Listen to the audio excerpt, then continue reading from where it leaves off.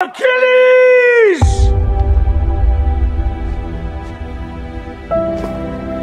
How many cousins have you killed?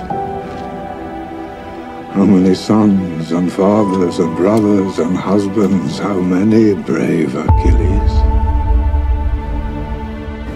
If you go to Troy, glory will be yours.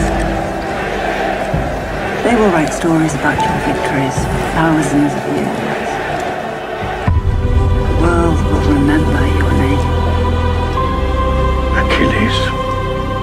I'll remember the name. But if you go to Troy, you'll never come home.